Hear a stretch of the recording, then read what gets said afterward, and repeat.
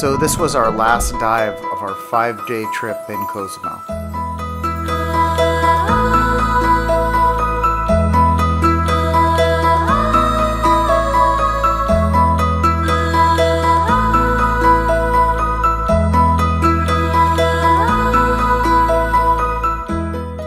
It's so cool when you see a school of fish like this come out of the darkness.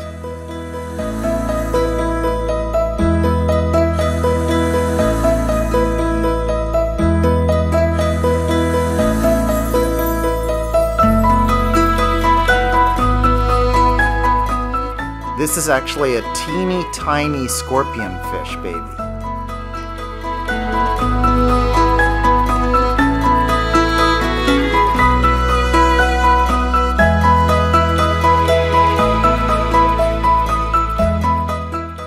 Here's a basket starfish.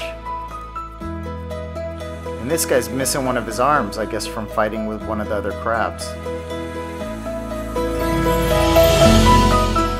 And here's an even bigger and better basket starfish.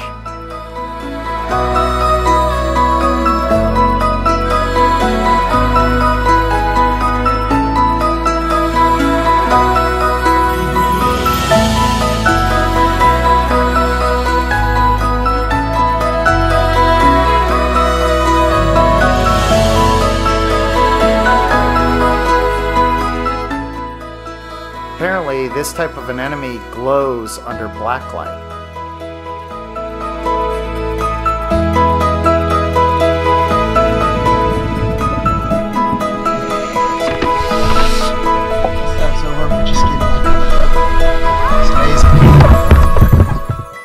Thanks for joining us.